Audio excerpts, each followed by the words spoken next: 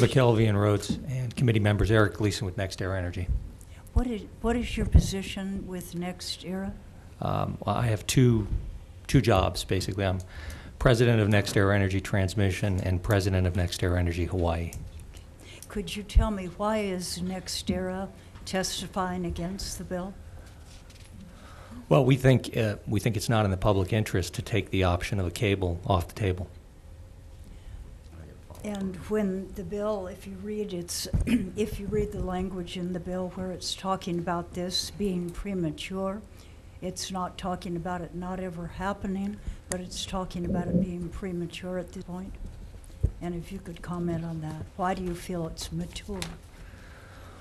Um, um, Forgive me, Representative Thielen, I don't have a copy in front of me, but I, th- I think what it says is that based on public input, it's premature? Thank you.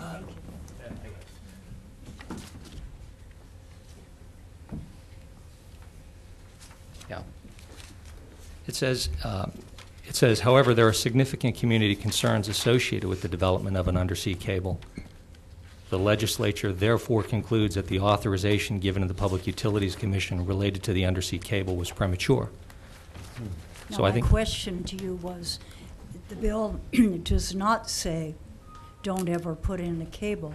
The bill says it's premature at this point. premature Why to put a does Next surcharge Era, uh, pardon me? It's a surcharge, that's what I want to boil down to. This is taking away the ability to levy a surcharge for the inter-island cable. Why do you think that it- we should give this ability to have the surcharge when even HECO itself, to which the, this consolidation or merger, whatever, hasn't gone through, forward, they, they've looked at the undersea cable and have felt that it isn't worth pursuing. Why do we need to keep a surcharge or the potential for one on the books now? so Ch- Chair McKelvey, I'm not a lawyer, but I've, I have read the, the original uh, many times. Um, I think it does a number of things, one of which is create a, a mechanism for a surcharge so that a, actually a third party, another utility, um, not necessarily Hawaiian Electric, could build the cable and then receive compensation for it. I think that's just one aspect of the bill or the law. I'm, s- I'm sorry, Representative. Thielen, I'm not sure I fully addressed your question. Okay, let me try it again.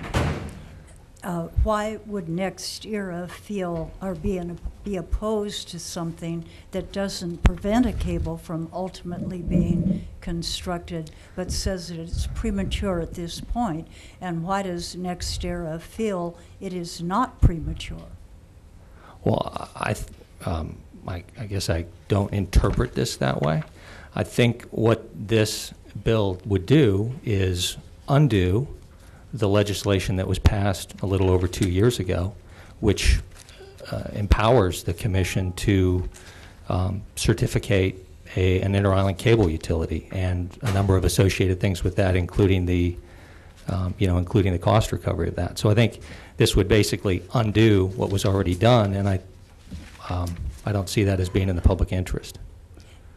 Go back again to the language on page one of the bill. Yes. And what it's saying is, it's premature at this point.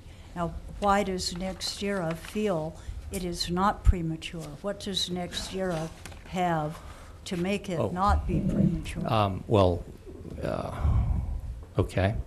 So we think, we actually disagree with, I guess you call this the preamble, where it says it's premature, therefore we think we should undo the law. The reason for that uh, is a couple of things. First of all, uh, there have been um, four or five studies that have been done um, of the cable and whether it could potentially be in the public interest. Um, Consumer Advocate's done one, DBEDT has done one, or commissioned, they both commissioned studies. Um, GE's done some work, um, we've done some work, um, and Hawaiian Electric's done some work. And four out of the five of those have said they believe it's in the public interest based on the information available today.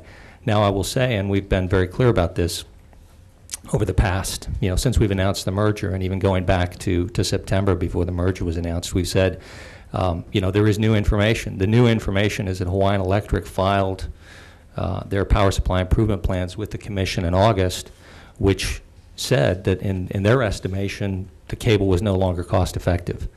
Now, we don't have all the information or the analysis that they did.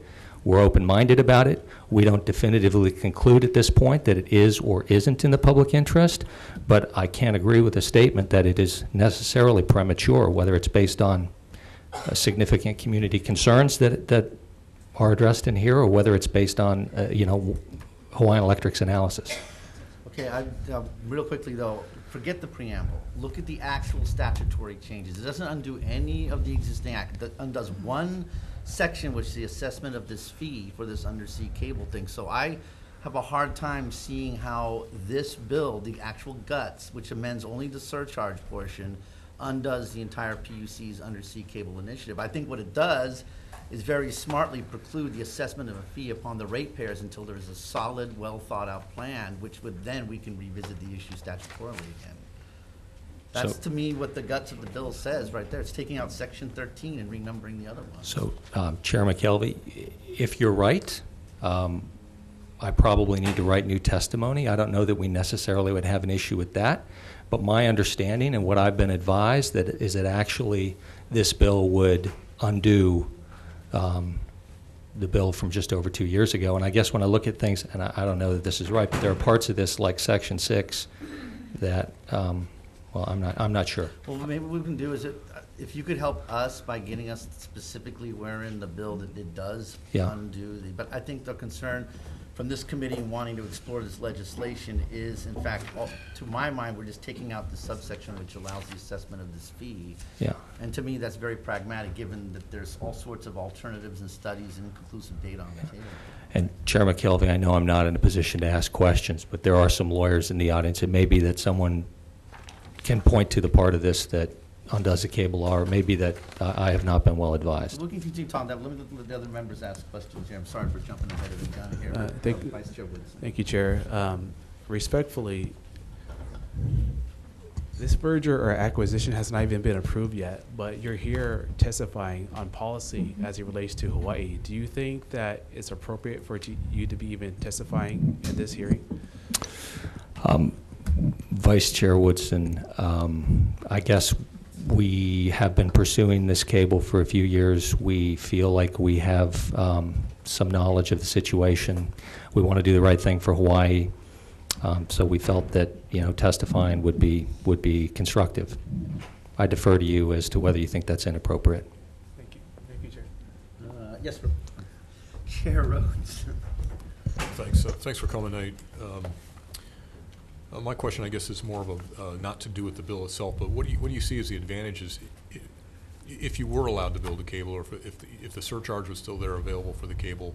What's the advantages of having a cable, and where would it go? What are, what are we talking about? What- We're talking about Maui to Oahu, or Maui to Oahu, and then on down to the Big Island, or, or what, what kind of system you, th- are you, I, I realize it's all Yeah. it's all premature, but if, if you, if it weren't premature, what would you be contemplating? So, so Chair Rhoads, uh, a couple things. First of all, um, I I think what this legislation was in- intended to do was make it possible for a variety of parties to compete to construct a cable and for the commission to, to, um, you know, have the framework in place to move that forward. Um, So it wasn't necessarily the utility. In fact, I think my understanding is most people involved at this time did not expect the utility would do anything other than run a request for proposals of third parties. So, so this is an enabler of Okay. multiple options for a what- cable. What's the advantage of having a cable? Yeah, and in terms of, um, of that piece of it, the idea, uh, well, this is, this has evolved over time. So I think when this legislation was first passed, when the original les- legislation was passed, the idea was, or, or at least the, the genesis was the big wind projects, um, you know, wind projects on Lanai or wind projects on Molokai. I know we have, we know, I know we have some people here who uh, are not big fans of that idea. And then um, uh, what we call a generation tie, or call it an extension cord from the neighbor island to Oahu. Okay, that was the original idea. Um, the, another idea um, that actually, you know, started, at least from, from our perspective, with, with, with um, a statement by the chair of the PUC, Chair Marina, uh, Mina Morita at the time, is why don't we have a two-way cable? Uh, why don't we have a two-way cable, um, you know, linking different islands in the state? And when, you know, we were one of the parties that looked at that and said, actually, that could make some sense. So we looked at something between Maui Island and Oahu. And, and, and I, again, just speaking for NextEra, what we've proposed is that that could make more sense than a, than So a what's the neighbor advantage, island. what's the advantage of having the cable? Right. So what the cable does is a couple things. Um, the two-way cable. So the one-way cable, it's obvious. If you think you can bring uh, wind energy plus a cable cheaper to Oahu uh, and, and or integrate more renewable energy by doing that than just having Oahu rely on its own resources. Um, that, that was kind of the idea. The idea behind a two-way cable is a little different. Um, it, it allows the both islands fundamentally to share the resources that each has. Um, in the analysis that we've done and that others have done, um, it suggests that basically you can, through a combination of the sharing of fossil resources across both islands, as well as integrating additional renewable resources, that you can get to a better place in terms of more renewable energy, less oil, and lower cost by having the cable. I think Lower rates. and lower all-in cost to, to customers. But, but I will say, uh, to give Hawaiian Electric, you know, their due, uh, their more recent analysis suggests that is not the case. So I think that is still something that reasonable people can differ on. Thank you, thanks very much. Go ahead. Uh, Representative? Is, is there any place in, any place in the world where they have such an undersea cable functioning?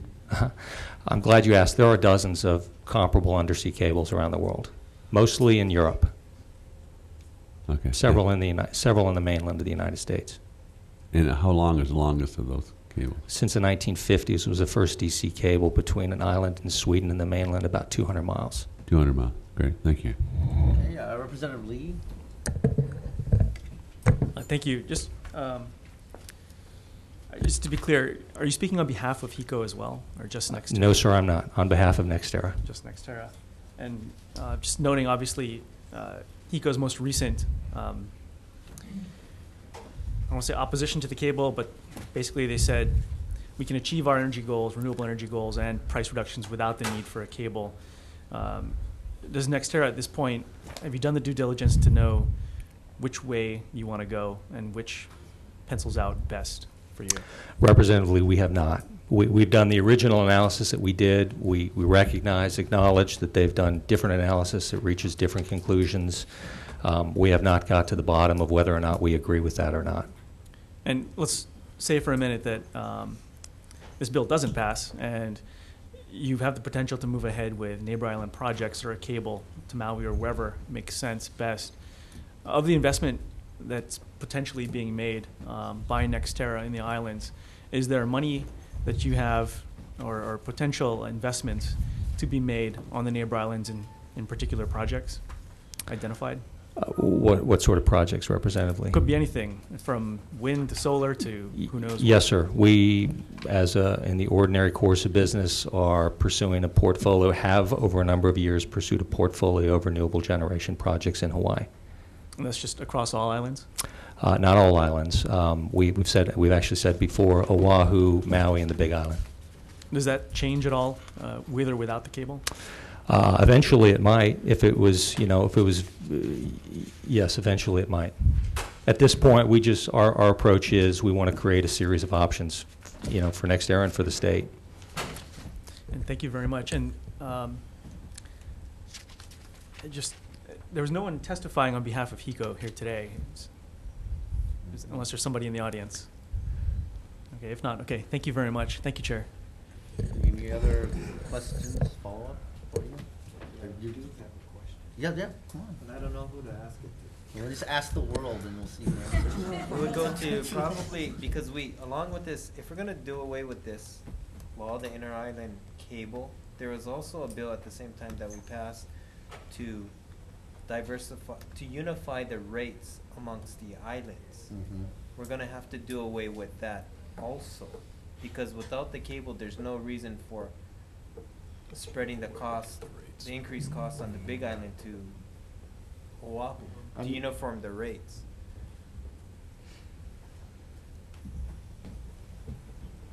My understanding is that you have to have a connection between islands in order to have a common set of rates. And right now, the depth of the ocean between Maui and the Big Island is 600 feet deeper than the deepest laid cable. Mm-hmm. And while technically you can lay a cable between Maui and the Big Island, you cannot pick it up to repair it. Therefore, you can't insure it, and therefore, it is not feasible today to lay the cable. But it may be in 10 years that it's cost effective to lay and insure a cable, but that is certainly premature at this point. Just like it's premature that Kauai could be attached to Oahu because of the nature of the channel. Right now, today, technically, you could only do Oahu, Kaho'olawe, Maui, Lanai, and Molokai. Yeah. Anyways, I don't know how, who would answer that question. Well, I mean, the, this thing, as one who introduced this bill, I mean, the intent behind it was to mm-hmm. look at, personally, between, you, mean, you've heard my spiel before, but Maui Island, or Oahu Island does, I think, make sense to explore for an undersea cable, but what my concern is, is to have a mechanism that would allow theoretically a charge to be assessed for this cable when nothing concrete has been put on the table, there's been differing opinions as to the feasibility. So the intent isn't to shut up conversation of this idea potentially, is to ensure that the rate mechanism isn't engaged, so ratepayers aren't paying for something which clearly at this point is theoretical, yeah. It's not quite theoretical, because the docket we're in right now, 2013-0393, is asking the ratepayers to pay for the studies on the Oahu Maui cable. Mm-hmm. If we are effective and win before the PUC, y- there will be no fee paid by ratepayers for that. If we're unsuccessful, then there will be a fee for the studies, which HECO says are no longer needed, but they did the studies And that- anyway. Hence the bill, yes, exactly. Yes, Just one so quick do- question. Thank you, Chair. Um, Mr. Gleason, is Lanai on the table as well? So, uh, Representative Thielen, our position on that, and we're on the record, is we think a cable, uh, uh, uh, you know, a two-way cable to Maui could make sense. Uh, The analysis we've done suggests it does make sense. I think it makes a lot more sense than a cable to Lanai. We've said that. We are not pursuing a cable to Lanai. Um, If we were a utility, and if NextEra were a utility in the state and the commission asked us to to do a cable to Lanai, I'm I'm not going to rule out that that could never happen, but that is not something we're pursuing. So I guess that's a long way around of saying it is still on the table, but you're It's not our place to take right it now. off, to take it off the table, but it's not something we're pursuing. Thanks, but no thanks. And may I have my bill back? Oh, yes, ma'am. Sorry. Any other questions on this subject?